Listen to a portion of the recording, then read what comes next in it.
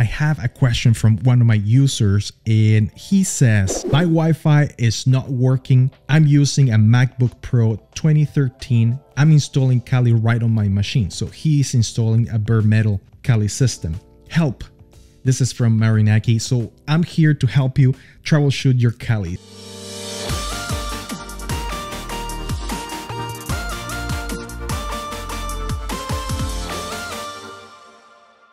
So if you're having problems installing Kali or running Kali or any of that, just make sure that you use the comments below and I can answer your questions. I'll pull a video for you to help you fix your Kali. If you're new to this channel, make sure you subscribe. And for all of you that are returning, thank you so much for having me in mind when it comes to cybersecurity and Kali. This is very common. This is probably one of the most common problems that I see people having when they're installing Kali Linux on all machines, they don't have the driver. So I'm going to show you how to install a Wi-Fi driver on your Kali Linux so you can have Wi-Fi and you can connect to the Wi-Fi without any problems. So let's get to it. If you go to your Kali Linux and you're probably going to see this thing. So you see Ethernet network, wire, disconnect and VPN connections, but nothing else. There is no Wi-Fi. And that's probably because your Wi-Fi is not working right? Or you don't have a Wi-Fi network card installed or it's not being recognized by Kali Linux. So what you do is just click on the terminal like this, and I'm going to get into sudo su, and we're going to see the status of the Wi-Fi network. So what you type in is service network manager status. And as you can see, you have it running, right? So the first thing that I want you to do is let's clear this up like that. I want you to restart the service. So I'm going to click arrow up and then in here, I'm going to put restart. And now as you can see, you're going to be disconnected for a little bit.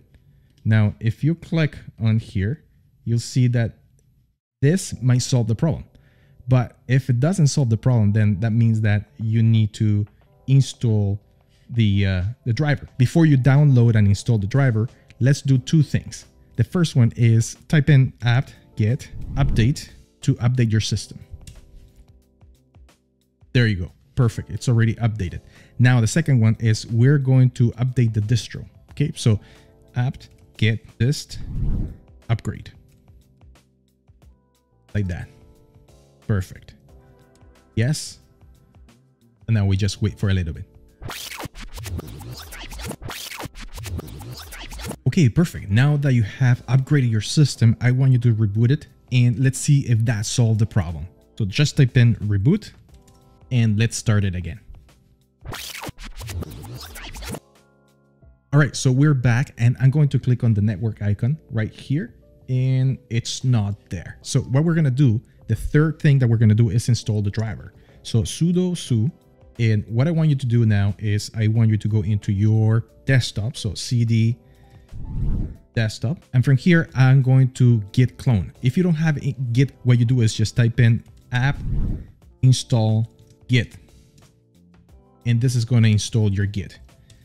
If you already have it installed, then I want you to type in git clone and then https column slash slash github dot com slash and you're going to download Tadaka Surya Teja like that and then Broadcom installer 2021.git like that. Once that's done, then let's do an ls and let's go into cd Broadcom like that. And from here, what I want you to do is chmod plus x and in here, I'm going to type in broadcom.sh. And now let's run this bash program. So type in ls, you'll see in there broadcom.sh. What I want you to do is type in dot slash and then broadcom.sh to run the command. And this is what you're going to see. From here, type in one and now yes, and automatically your Kali system is going to be rebooted like this once the plugin is installed. Now Kali and your password. And let's check this out.